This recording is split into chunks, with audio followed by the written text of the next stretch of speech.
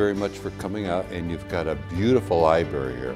I'm originally from around Wilkes-Barre, Pennsylvania. My grandfathers were coal miners. They came from Slovakia and Lithuania and they had to take all the terrible jobs just like the immigrants coming into the United States today.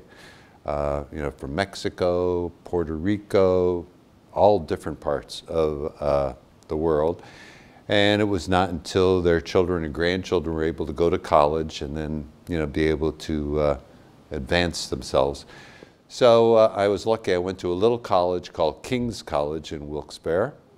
It's run by Holy Cross Fathers that run Stonehill College in Massachusetts, Sacred Heart College, and a little college in the Midwest called Notre Dame, and also one in Oregon, Portland.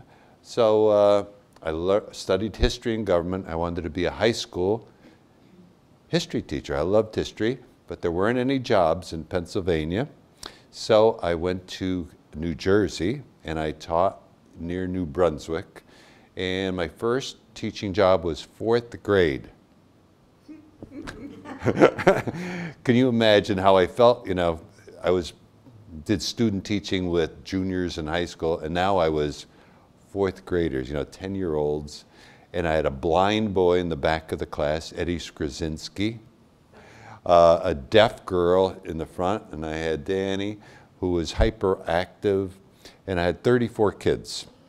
So, and I didn't know what I was doing really. But, you know, I knew more than they did, I think, except for the math. And they were just coming out with new math. And luckily, we had a divider. It was a former kindergarten room. And uh, so the guy on the other side, he took the kids that were really good in math and did the new math, and I did the old math. And then uh, we went to, then I taught seventh and eighth grade history. I love U.S. history. Anybody like history here? Just one? Well, it was current events for us. Oh, current events, okay. and uh, then I got a master's in reading. I went to Newark State. It's called Kean University now. And I started teaching remedial reading.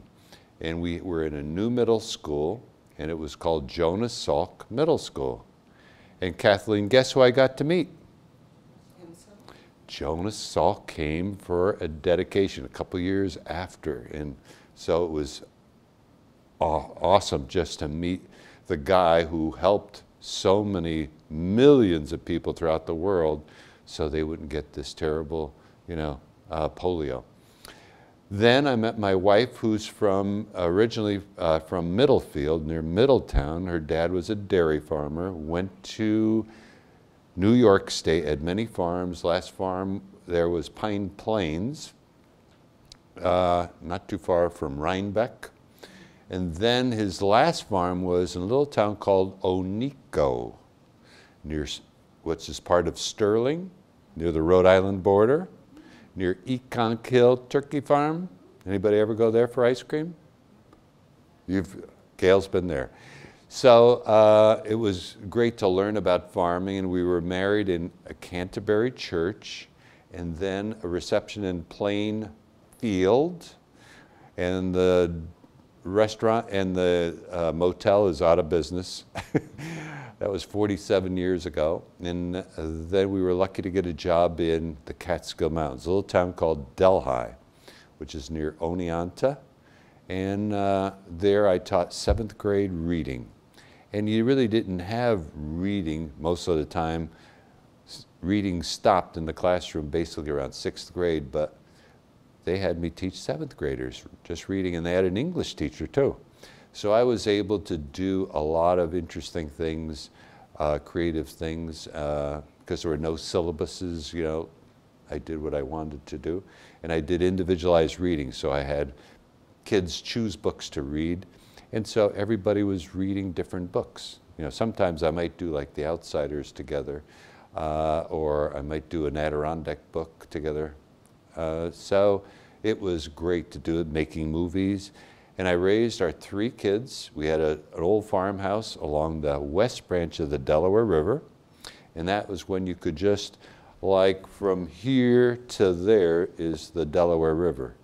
and go swimming. We had a swimming hole, and we had a 10 acre farm with a big barn, cow barn, silo, and we paid 27,500 in 74. Can you believe it?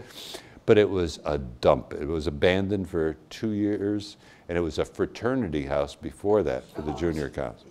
So there were smashed windows, but when you're young, you know, and you're the only one uh, working, so it was great to just do one room at a time.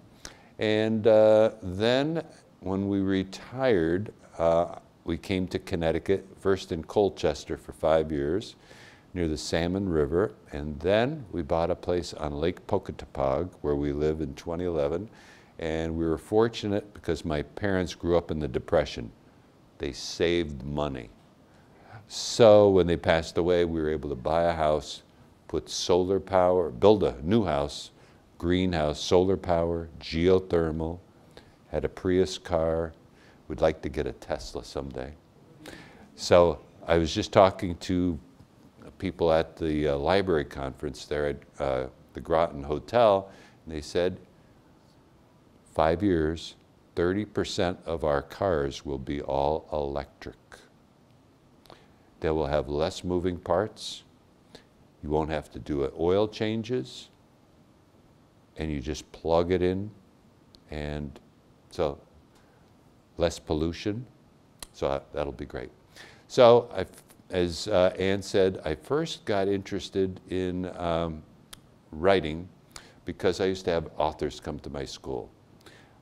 Tried to get the kids interested in reading by having a real author. I went to parochial school, so we only read one book during the year. It was a basal text. Did anybody ever have a basal text?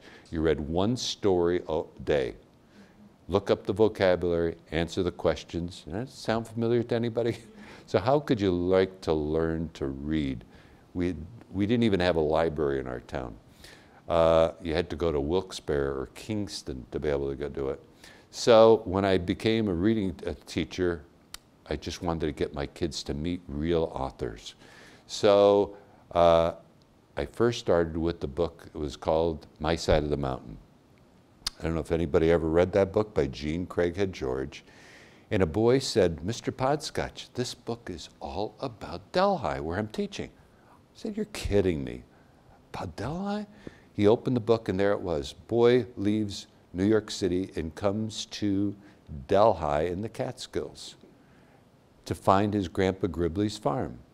And then how he goes into the woods and lives fall, winter, and spring off the land, tames a hawk to be able to hunt for him and uh, you know, doing all these things, natural things. And Jean George won the Newbery Award for that book. She also won Julie of the Wolves. And I looked in the back of the book and I said, Chappaqua, New York. I'm in New York. So I called information for Chappaqua and I asked for Jean George. They gave me her phone number. So one night I had courage and I dialed the number, and a lady answered. And I said, Is Jean George in? And she said, Speaking. I'm just a teacher from Delhi. Oh, Delhi, what a wonderful town. And I told her how we're poor. We can't have authors coming and pay them to come. How would you like to be our first author for our book fair? I'd love to come. And I we didn't have to pay anything. So then I told other writers, Jean George was coming. Whoa!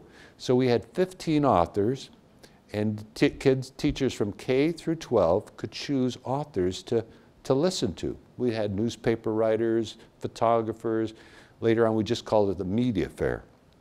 So for 25 years, I had free authors every year.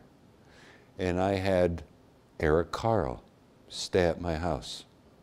He wrote The Hungry Caterpillar. Came from the Berkshires, stayed at my house, and then in the morning, after I made breakfast for him, my daughter sat on his lap and he read The Hungry Caterpillar. Sounder by Bill Armstrong. He taught at Kent School for Boys. He took a day off, came, stayed over. Jean George came to my house. My friend took me the day before. We picked wild leeks. I don't know, did anybody ever go into the woods and get wild leeks? And made her wild leek soup. She said, Marty, this is the best soup I've ever had. So, uh, how about Howard Koch? Anybody ever hear of this guy? In 1943, he won the Academy Award for writing the movie Casablanca. Called him up from Woodstock, right down the road. Hey, would you like to come? I'd love to come. 87 years old. Here he is coming into the library talking to all these high school kids. He said, during the 1950s, McCarthy, senator, called me and other people communists. I couldn't get a job after winning the Academy Award. He said, I had to go all the way to London and write books under a pen name. And he said, You kids, if you believe in something and the whole world is against you, stand up for what you think is right. Heywood Hale Broun from CBS came. I just, I had Ian Ballantine. Do you ever see Ballantine books? Remember in the 50s, he started the whole paperback revolution. He took the pearl off the shelf. See that, kids?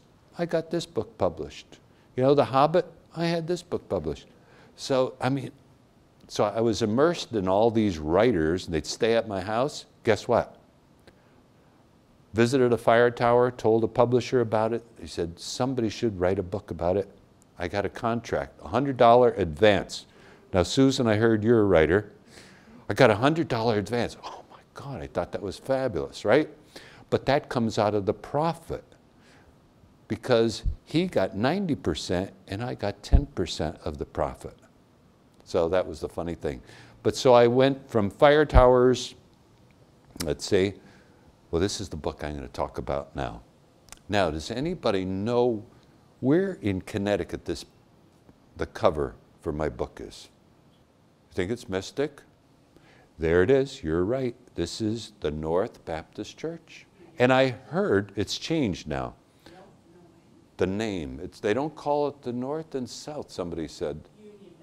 Union And I met the guy who works at this library behind there. I didn't even know there was a library behind there, the Noank Mystic Library. Did anybody go there?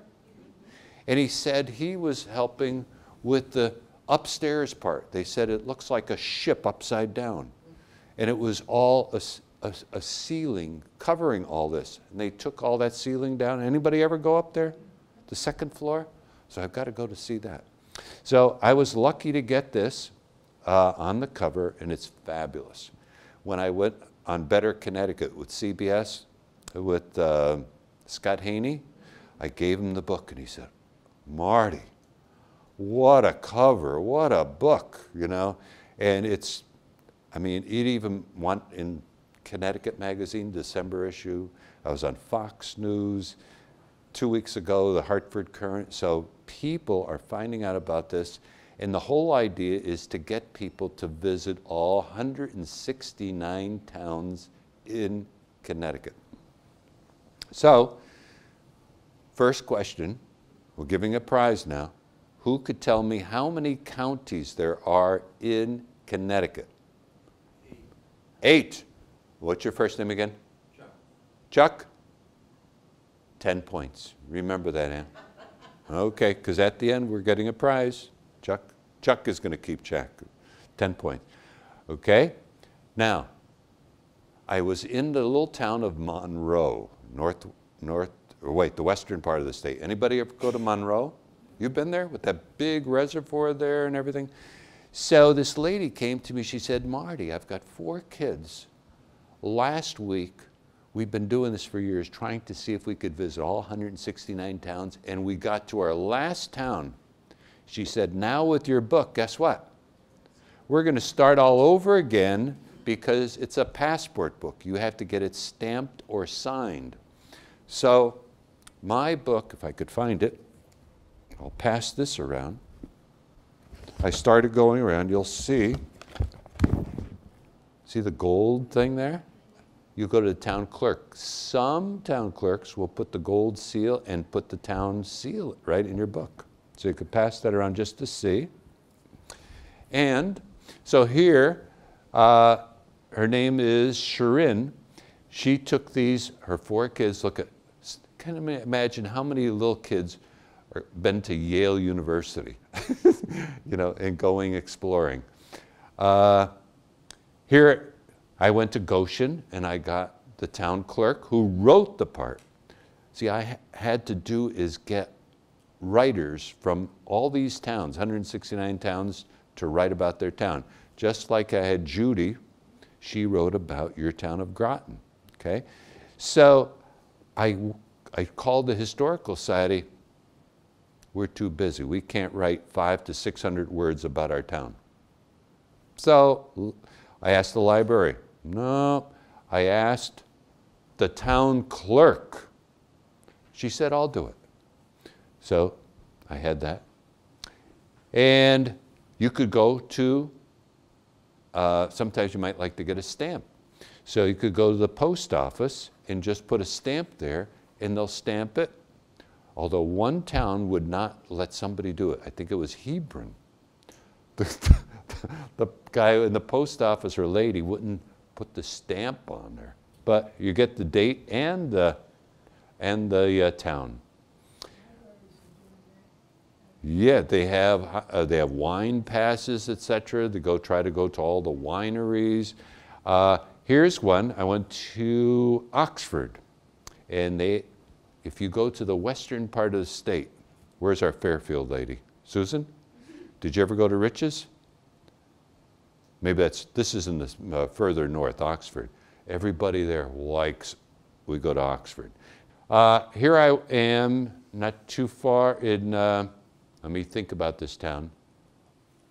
Old Lyme, okay? And right when you're going to Gillette Castle, you get off uh, the uh, ferry, there's this little store, has sandwiches, etc. And look at the Hadlyme Country Market. They even had a nice stamper. And Zachary signed it because Zachary couldn't believe it. He's right in the picture. And his mother owns the store. My granddaughter gets the byline because she took the picture. Then I went to Sterling, okay, uh, on the Rhode Island border. It's a place called Ekonk Hill Turkey Farm. Anybody ever go there? Gail's been there. People rave. They love to go to Ekonk Hill. And there, they raise turkey. They're all free range. Okay? And they have this dog, Big Blue. He guards the the flock. So no eagle, no hawks, fisher cats, uh, kill them. Very expensive meat. Somebody said it's about $5 a pound. But Wesleyan College, you know, in Middletown, guess where they get all their turkey and ice cream? Eat, con, kill. I took, you want to go out, go to these colleges. I don't know if you knew this. You could go to Trinity College. You could go to Wesleyan, you just go to their dining room. Bon Appetit is the caterer at Wesleyan. So you get this wonderful meal, $7, all you could eat. They have buffet, everything. I took my granddaughters there. Same thing up in Trinity. Anybody ever go up to Trinity College? They have a nice theater. They have sometimes foreign films, etc. Go right into their, their cafeteria and you could get nice dinner cheap date. How many been to Litchfield? Arethusa. This is a, a, a, fabulous dairy, and they have an ice cream place and a restaurant. Then I went to Washington. Anybody ever go to the town of Washington? Okay. How many have ever watched the Gilmore Girls? The whole story of the Gilmore Girls is supposed to be in Washington, Connecticut and the mother is raising her daughter, and she has a bed and breakfast, okay? So I said, oh boy, I can hardly wait to take my granddaughters to Washington and be able to see, you know, this bed and breakfast. So I did, I took my wife to the, let's see, what is this place? Oh boy, there is a bed and breakfast. Grace Mayflower Inn. Anybody ever go there? So I took her for lunch, and I just went for the heck of it to the desk to see how much does it cost to stay for a night. She said, this was December, she said, special deal. Prices went down for one night to stay at this Mayflower Inn, $500. And if you get the really expensive room, $1,600 a night. In Washington? Washington. Because? No, because have you ever heard of the Gun Academy? They have their own, the kids have their own hockey rink, their own gym, their library, not just ordinary windows, Tiffany windows. Big bucks up there. So I went, I did a book signing at the Hickory Stick bookstore, and she sold boxes of them, of my book. And I said, Where could I go to get some nice soup? She says, Go next door to Marty's. How many Martys are there? Not too many. So I went there and I said, could, Is Marty around? He could sign my book. You know, it's a passport book. She said, I'm sorry. Marty passed. But I'll sign it. So there I have the waitress. She signed it. I went to uh, the library to give a talk in Enfield. So I wanted to look for soup. So always hearing about Red Robin. Anybody ever go to a Red Robin restaurant? Red Robin. Okay, yum. So I went there, went there, had some soup, and I had the waitress sign it. Went to uh, Barnes and Noble, and the librarian signed it too. So West Hartford, you know, classy West Hartford. I went to Boston Market. All the soup, Kathleen, 495 you could eat. You could have 10 bowls. Okay, and then this guy, I also did a travel book to all the Adirondack 102 towns, and I'll pass this one around to you. I did five books in the Adirondacks, and I noticed people just don't go to all the towns, you know, in the Adirondacks. They go to Lake Placid, Lake George, Old Forge. That's it. I did, I, I, to gather my stories, I had to give talks like this in all the towns, and that's where I get my stories to write a book, because there aren't any books. Fire towers, CCC camps. So I did this book, and you also had to get that. But where did I get the idea? Vermont. Anybody like to go to Vermont here? Susan? Oh, Chuck? Ben and Jerry's is up there. Ben and Jerry's, yeah.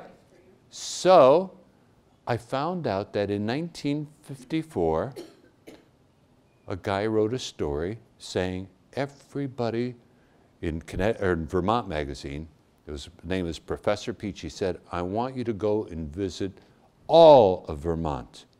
Take the road less traveled. And how many love Vermont? It is gorgeous. So that's where I got the idea. If Vermont could do 251 Club, I'll do 102 Club.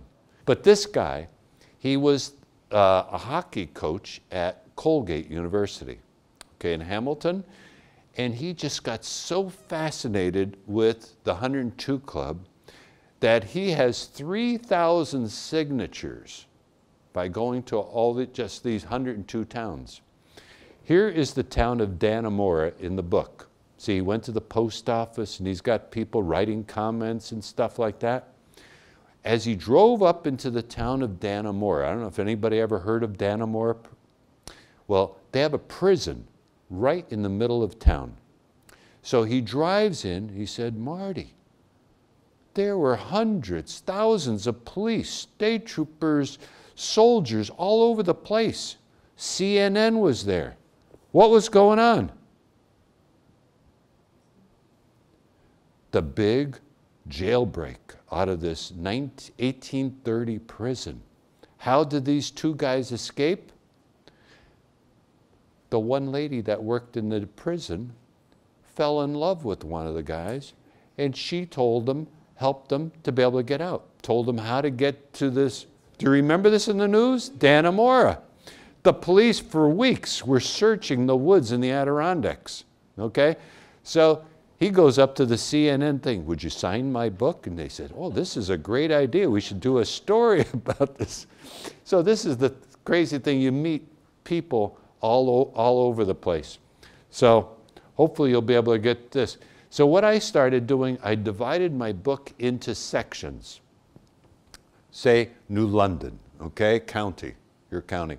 So when, you're when you got to this section, I have the towns alphabetically, and you could start doing a certain section. So I started crossing out the ones that I had visited, but believe it or not now, I visited all of these towns and I, did, I really crossed those out. So New London County is done. But that, if you buy a book today or sometime in the future uh, and you start traveling, you could do that. And then in the back of the book, you keep track. You try to see if you could visit, you know, all the towns, put the date down. Because if you get to all the towns, guess what? You get a million dollars. No. Okay, you get an award. Now I'm trying to think of what would be an award we could give them. Would we give it the Nutmeg Award? Would we give it a prime member? That's what they do in Vermont. They give you, you become a prime member, okay, and they have a luncheon in Montpelier, and the governor comes and gives those people, you know, who are members. But I wanted something historical. So for the Vermont or the Adirondack one, I gave what they call the Vagabond Award. Does anybody know historically who the vagabonds were in the 1920s? They went camping every year, twice to the Adirondacks, sometimes down to Virginia. Edison, Ford, Firestone, and John Burroughs, the naturalist from the Catskills. I don't know if you ever heard of them. And the reporters following called them the vagabonds. So that's what I gave for that. So I needed something historical, somebody who traveled around Connecticut. Anybody know? Don't say anything, Ann, because Ann knows the answer. Anybody? Kathleen? Well, there was a guy, 1865 to 1886. He was a homeless guy. He wore clothes of leather. And he traveled around the state. In his last six years, he made this 365 mile trip from the Hudson River to the Connecticut River and back in 34 days approximately. He lived in caves. He took pieces of leather left over, you know, people's boots, and he stitched them together. Imagine wearing leather clothes. And they said, This is a book. I was in Essex Library and telling them about this. Four days after my talk, I had a package in the mail. This lady bought me the book because it's hard to find, it's out of print, about the Leatherman. And all it is is excerpts from you know, daily or weekly newspapers in the towns that he visited because that's the only knowledge they have. They have no idea what his name was, where he came from. They think he came from France, didn't speak English, and people just fed him. I, I was at the conference today, a librarian conference, and this lady said, My grandmother told me, or great grandmother told me how she would feed this guy. They would just leave the food out for him. Some, I forget where it was, in Hamden maybe. So I'll pass this around. So, if you visit all the towns at a dinner, we're going to have every year, we're going to have a dinner. This year, we're going to have it in the geographic center of the state, Berlin. Now, you don't say Berlin, Berlin. But there's a picture of them there. And so I had a person uh, do that. From 1883 is when he did this every, uh, for six years until he died, this 365 mile trip. And some of you may have heard this guy on about six weeks ago. He came from England. He's studying at Quinnipiac College for a master's in teaching. And he went to a cave because he's one of these long distance walkers. He walked across the Sahara Desert. Uh, he uh, walked across England. So when he came here, he went to a cave. What the heck is this Leatherman stuff? So he read the book and he said, I'm going to do that whole trip. So he started in Sparta. I don't know if you know where the cemetery is near the Hudson River. And he did the trip and he wanted to do it in seven days. He had, he was hooked up to a satellite dish, uh, satellite, and it went to his website. And you could follow him hour by hour where he was on this trip. So it was um, St. Patrick's Day, just finished dinner, and I looked on the map and he was coming into Middletown. My God, this was my chance. So I got in the car. I called up my writer from uh, Guilford because he had a computer. I didn't have a, sm- I had still had a flip phone. So he's telling me, um, in Middletown, I said, Where is he at now, Joel? He said, He's coming down Route 66, right at the intersection of Middlefield, and he's coming down, so co- coming towards Staples. So I drive on Route 66, and it's dark now. Oh my God, how the hell am I going to find this guy? So there are these two headlights, two people walking down on Route 66. I pulled over right behind them into this driveway, Connecticut Forest and Park. I don't know if you know where that is, their office. And I said, got out of the car, Are you the leather man? In his British accent said, Yes, I am. so I went out there and I handed him the, the Leatherman patch. I said, This is the award because you're going on this, this journey. He says, I don't deserve this because I haven't visited all 169 towns. You deserve it. So I said, Can I buy you some food? You know, because guy's got, he's doing about 50 miles a day, you know, to, to get this in seven days. And he's walking with a limp, so I, I didn't think he was going to make it in seven days. So he says, Yeah, we're going to go. He was walking with just somebody just for a part of the trip uh, from the Connecticut Forest and Park. Anybody a member of Connecticut Forest and Park Association? So he said, We're going to go to Starbucks. So I said, I'll buy you, uh, you know, some food. So I drove down there, got all set, got a table all set for him. Uh, in about 10 minutes, they walk in, you know. Here he is exhausted, you know. So I have a table. I said, There, Ian, you could sit right there. And he saw four chairs, you know, comfy chairs. Can I sit there? He took off his, his, his shoes, you know, just to give his feet a little rest. And he wanted a double latte with a lot of caffeine in it, to, you know, because he had to keep going to uh, walking. Uh, and uh, I, I showed him the book, and he had read it, and he's telling me all this, the stuff, the different caves. He said when he was going to uh, Thomaston, you know where Thomaston is? Okay, by Waterbury, that's where they made the Thomaston clock. There is a cave there. So along the trip, sometimes people would join him. So he knew this guy from, I think it was maybe Watertown, and his son. So his son, 14 year old son, volunteered. He's walking with them, and all of a sudden you had this downburst lightning, thunder. They made it to the Leatherman Cave, and they spent the night there. It was so bad. And that's why he was slowed down a little bit.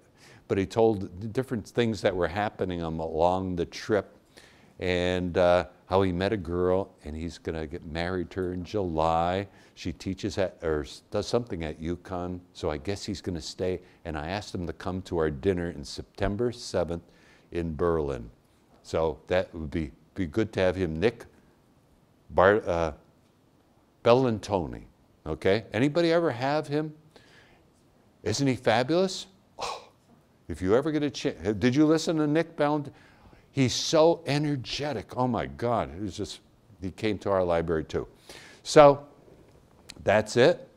Now, this is the trip that he, uh, the leather man would make up towards, uh, down to Meriden, along the Connecticut River, Essex, and then he would uh, come down through here, uh, Branford, and then he went around New Haven. He was not, you know, looking for a lot of people, and then coming down, and then to Hamden. Now Fairfield is down in here. Yeah. Okay, so he didn't go that far, and then he came up through here. I, you know, not too sure in the book you'd be able to check it out. Oh, there I am, with Lee Stewart is his name, Evans, and uh, where I handed him the thing. A little guy, just like the leather man, and he's dark skinned and uh, same height and about the same weight. So he was telling that's it. There we are at Starbucks. so I got to meet him. There he is, pointing out, you know, uh, the pages of. Uh, some people would sneak to try to lure the leather man to take pictures. And these are the olden days when, you know, photography was. They would try to get him to get uh, to get a picture of him. Where does the idea of travel come from? I told you. I read a story in 2008 about the Vermont 251 Club. And here was a guy, a couple from Schenectady. They heard about it, and they would just have volunteers keeping track of people. You know, who was the first person, second person, third person, etc. Going, and and everybody keep their own record. You could lie if you want to, you know, and say, "Oh, I did it," and you'd still get the Prime Member Award. And it was all Dr. Peach. And he taught at, taught at Norwich. I'm in the Manchester Library talking about Professor Peach coming, you know, and writing this story. And he died about a year or two after he wrote that article in 54. This old time guy that was answering all the questions comes up to me, like we're uh, doing answering questions. He said, Marty, I went to Norwich Academy. Professor Peach was my English teacher. Can you imagine the people I meet? So I thought that was astounding. And there they are in Montpelier getting their awards. So Vermont could have 251, and there are 251 towns, then after writing five books about the Adirondacks and traveling all over and meeting these wonderful people, and you know what? Because you're a teacher, I didn't have the money to stay in motels. Guess what? The people would take me in for the night. And who's taking me in for the night here? Anybody volunteer? I bring my sleeping bag, my pillow, and a towel. That's what I do in the Adirondacks. One time I got to Mayfield, and somebody was supposed to take me in for the night, you know, because I, I spoke to this the historical society in Mayfield, and they said, "Sorry, Marty, my wife has got company over. You can't stay over." Would anybody in the audience want to take in Marty for the night? And guess what? Somebody, this old guy raised his hand. He had, uh, had the, the lumber yard in town. He said, Marty, I'll take you. So I wound up at, at this. You never know where you're going to stay. So there's where I travel. And I, as I said, people are so nice, they take me in. Last year I gave a talk in Hague on Lake George. This lady took me in. Log cabin, acres of land on Lake George. Uh, her grandfather bought all this land up, and he had these racing boats, these wooden racing boats in the 1920s and 30s. They would have this race. I don't know how many, how many times they would go around there, and that was a big thing there. So, so there's my book, which I'm passing around. I had the state senator encouraging people, visit all of our beautiful Adirondacks. And you'll go to ice cream places up in the Adirondacks, and guess what? How would you like to go to that place? Wishy's Ice Cream. Somebody at the library conference yesterday, she said, I'm from Croghan, and I used to go to Wishy's, and Croghan belong. I mean, it's just, oh, crazy. And there are the vagabonds. And look at the way they went camping suit and ties. They didn't go to what's the Outfitters or what the- REI or what's the one from Maine? LL Bean Clothes.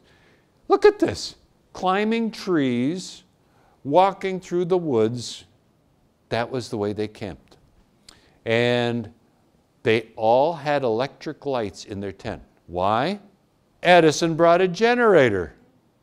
And Ford had his truck with a uh, cooking thing on the back. And they somebody, if you go to Dearborn, the, the Ford Museum, that, that truck is there.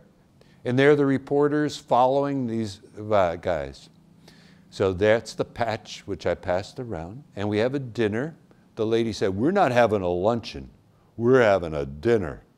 So we had a dinner there. The next year we had in Queensbury. Last year, Ticonderoga. This year, Hotel Saranac. So if anybody wants to come. Then I came to Connecticut, okay?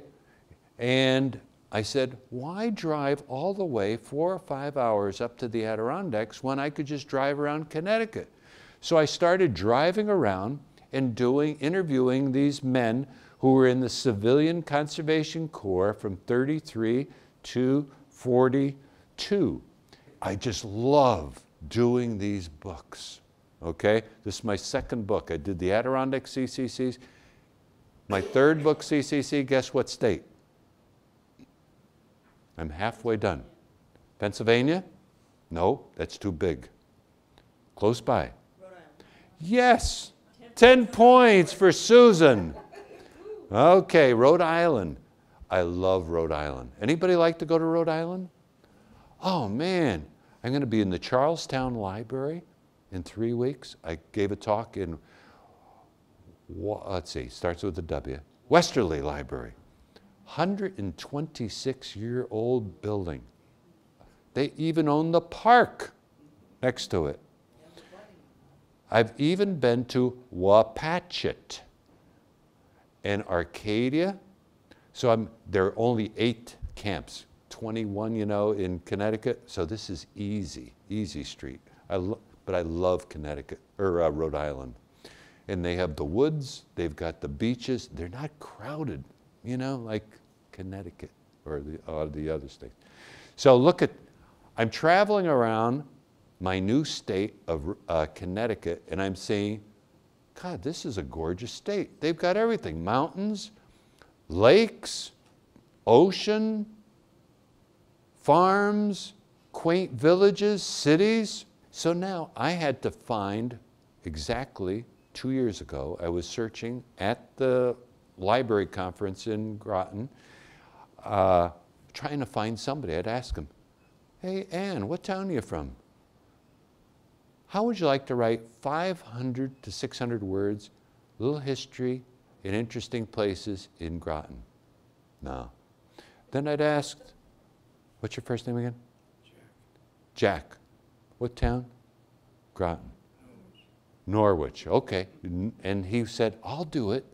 Okay. So that's the way I first started out. Then I started calling up historical societies, clerks, town clerks, selectmen, wherever I could find somebody who could write five to 600 words. Too bad I didn't know Susan. She could have been one of my authors. Okay, so here's an example. You've got a little history. So when you go into town, you could read a couple paragraphs. What went on in this town that you're driving through? What are some interesting places from local people telling you? Not me, because I don't even, I don't know. So send me some pictures, the Bethlehem, and look at the writers I was dealing with. Where's Judy's name? What is her name? Okay. Next page. There it is. There's Judy Calmelis. Okay? So look at this. I was dealing with all these variety of people, and my fingers were getting sore to the bone. I even wrote a story about my town, East Hampton, and I had my granddaughter help me. And there she is. During Christmas holiday, I said, Kira, how would you like to be an author? She said, okay, Papa. So we sat down. In three hours, we had our 500 words done. Okay? So it wasn't a big thing, but some people take months, you know, because they wanted everything to be just perfect.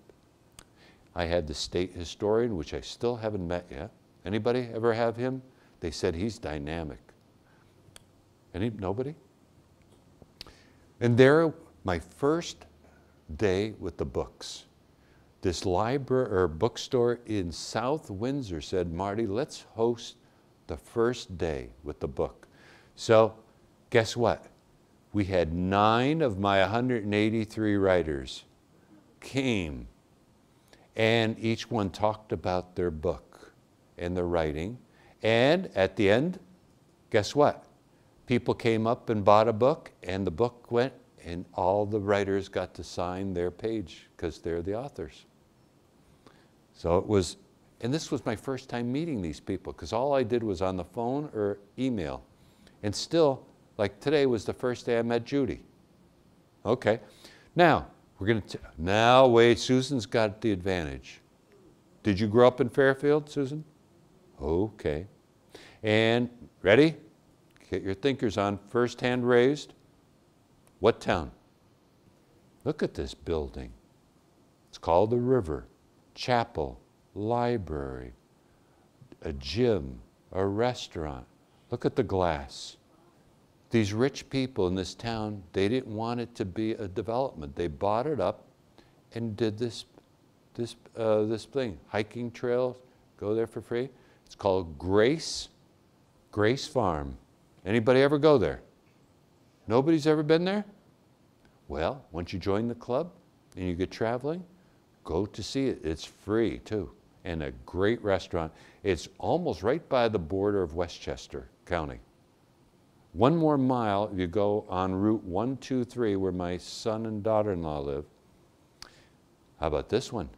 10 points. I'll give you a hint. Starts with an S. Sherman. It's on the top of Candlewood Lake. Anybody ever go there? And the Historical Society has the old general store and they have a gift shop. Okay, now we go to Litchfield. It's a covered bridge, but what town? Sharon. Because one side of this covered bridge is in Sharon. What's the other side? Cornwall. Cornwall Bridge. Okay? The oldest continuously used covered bridge. Look at that thing. I think it was in the 55 flood it was washed out and they had to rebuild it. How about this town? Starts with an N. This is a railroad station. It had a fire. It's now a brewery. North Canaan. It's very confusing, that area. You got Canaan, North Canaan, and part of Canaan is Falls Village. Okay, beautiful. How many been to Kent Falls? You people don't get out of Groton. Come on, join the club. It's a hike. But it's gorgeous up there. Okay, New Haven. Now, who knows for 20 points the name of this building? Okay, this is called the Harkness Tower. The Harkness family had their son going to Yale. He died while he was going to school there. The Harknesses made their money with Standard Oil, Rockefeller. So they built this tower in his memory, and they have, you could go, so look, see the spiral staircase? You could be able to tour this tower. And guess what my phobia is? And I did three books on fire towers. I can't even get up, but I wrote the story about the men in the towers. Okay? And look at, did anybody hear the carillon music? They say you have to almost like hit the, the, the things. Have you ever played a carillon? I've seen it done, Have you seen it? yeah, Smith College. Smith College has it? And there's some other place in Connecticut that has carillon music. I don't, I don't remember. Okay. Guilford. Yeah, and they, they even have tours. You have to go onto this island. I love Guilford. Anybody go to Guilford? They have a beautiful square, nice shops, coffee shop. Same thing with Branford. God, these towns. Nice. This is a Russian church. See it inside there? Okay? 1920s, the Russian Revolution. A lot of you were an engineer or a writer, you were being killed. These people escaped, came to this uh, United States, and they formed a colony, built little cottages. They worshiped in this church, okay? It's in Southbury, right near, almost about a mile from Route 84. It's, and they loved this because they reminded them with the white uh, birch trees of being in Russia. They had their own Russian newspaper. Uh, Tolstoy's nephew lived there.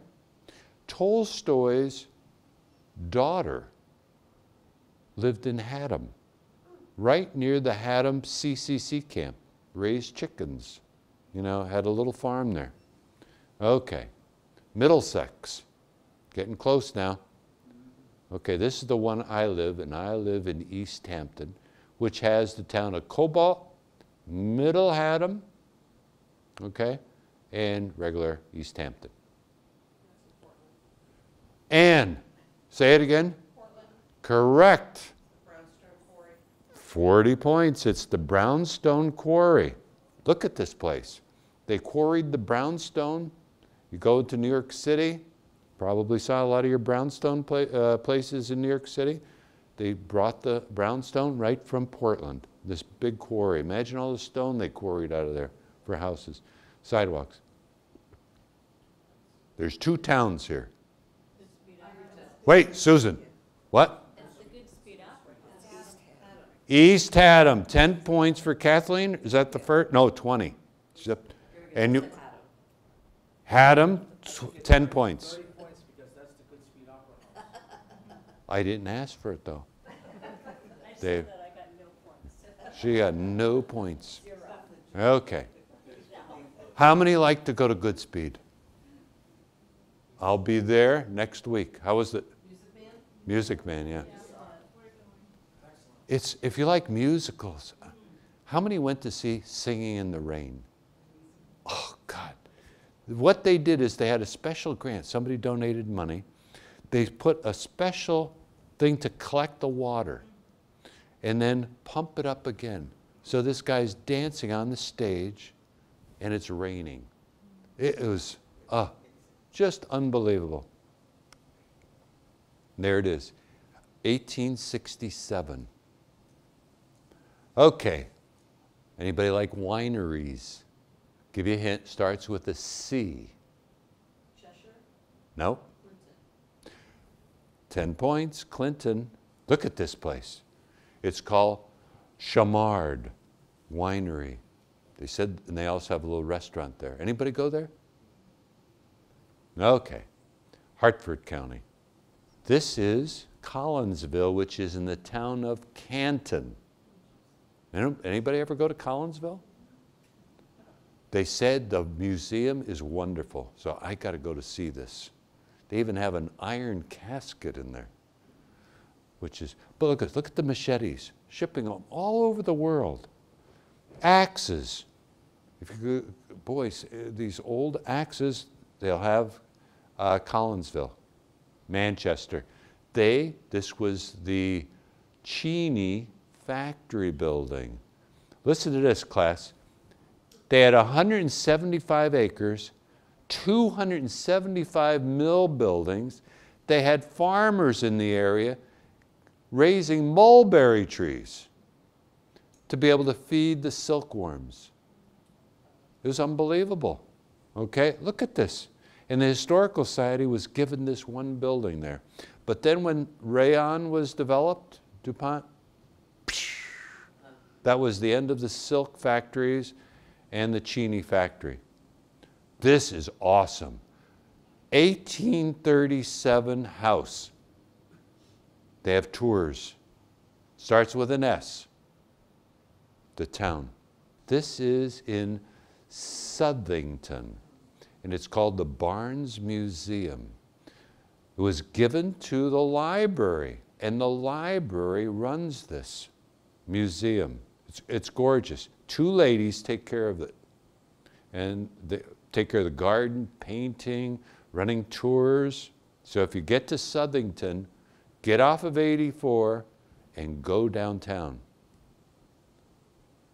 New London. Okay, now no excuses. Groton. Groton. Okay. How many have been in the Nautilus? What town?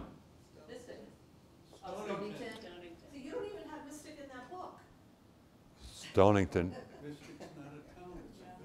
It's a. Part of the two towns, parts of two towns.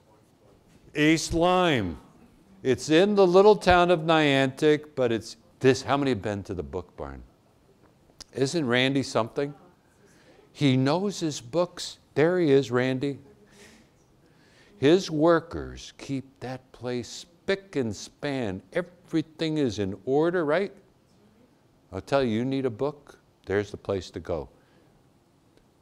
Okay, Tolland, uh-oh, we're going far. Whew, this is a tough one. Built by the WPA in 1939. I have to tell you this one. Fox Hill Tower, and it's in Vernon. Okay? I'll be speaking there. So I'll, I want to go to see this tower. Look at how gorgeous it is.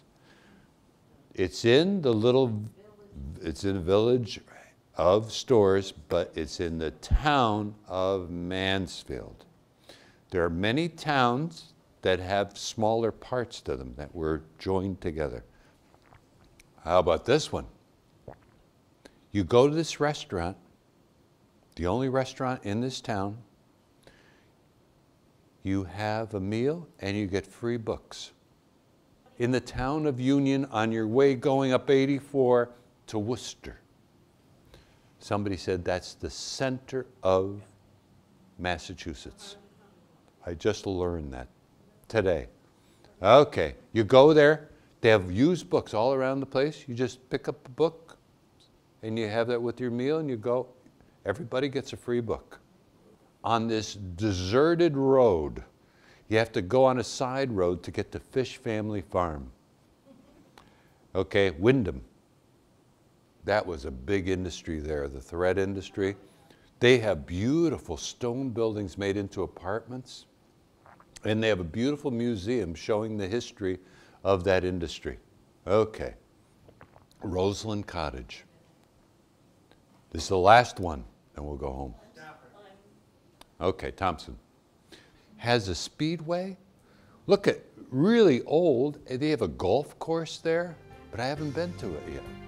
So now begin your quest, class, as a member of the Connecticut 169 Club to not only visit all the towns, villages, but to get to know the people of this beautiful state. Let's all take the road less traveled. And I would like to thank you very much for coming. Class dismissed.